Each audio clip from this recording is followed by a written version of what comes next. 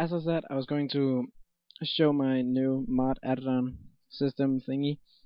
Um, as I just said in my last video that I uploaded a couple of hours ago. And um, I just needed to finish up the last things because uh, before I could uh, record this video.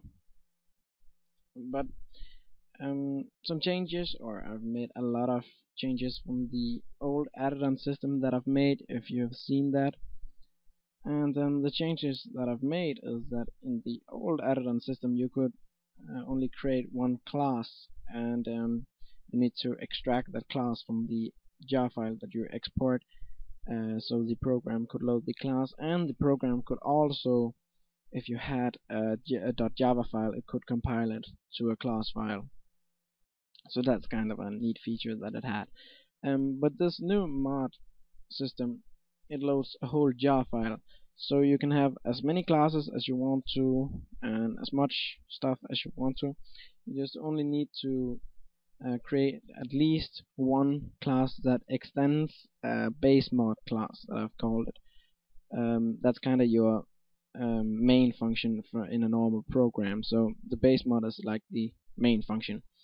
Um, that's where everything is handled in your mod so once you need something rendered you need to pinpoint it from that class. And um, you can make more than one uh, that uh, class that extends base, uh, base mod uh, class in your jar file. So you can actually make more uh, mods in one jar file. And that's kinda a neat feature too. But um, I'll just show this map here, uh, or not map, this folder is where I just stored the uh, five mods that I've made, just five simple mods, um, uh, colored backgrounds and some keyboard listening and a circle. Uh, and this test mod YouTube that's the circle one I actually made that um, because of this is a re-recorded video. Um, I actually just rec recorded it a couple of minutes ago but it ended up, it ended up getting too long and because we were talking about too much crap but yeah let's just open up the program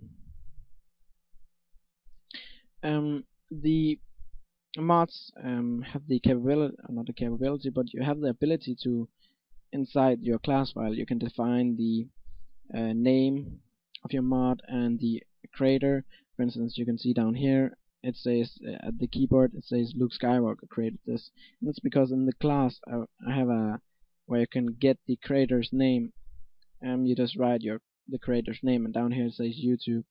And yeah, so but um if I just select this blue background uh, mod, you can start seeing that it's just filled the uh, screen here with a big blue, as a big blue background or a big blue rectangle. And um, if I resize the window, it's course going to follow because the mod loader uh, reports to all the mods that this back uh, that this uh, background or size changes.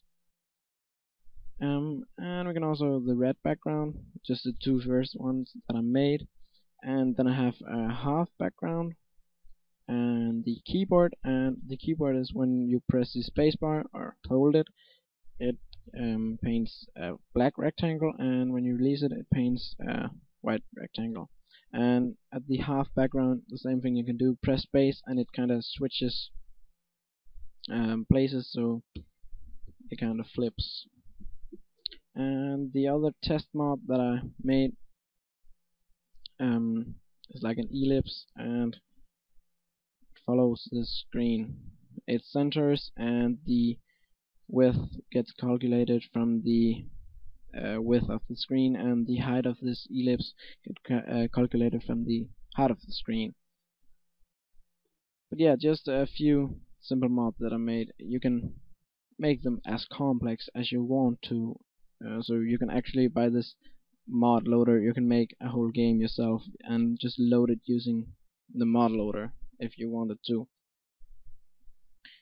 Um so for instance if I'm just going to if I'm going to put this into die to win or some of my other projects then you could change the game as much as, as much as you want to um, just by creating a mod. And the good thing about a mod loader or a mod loader system is that you don't have to override something in the game in the original game files um, to be able to change it to be able to change it so that's a good thing.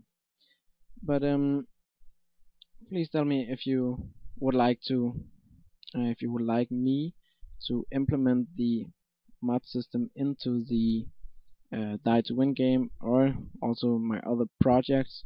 And the mod loader is also capable of um, downloading the mods if you just implement or not implement but uh, give it a URL link.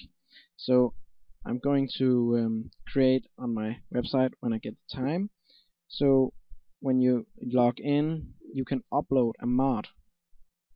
Then you select uh, which kind of or not which but what of my programs or games you're going to upload to and um, then you can just copy the link from whoever made the mod and put it into the game and it's just going to download it. Um, yeah or download the mod from in there but tell me what you think about that idea and um, tell me what you think about the mod system here. I am really pleased with it and I'm really happy that it works.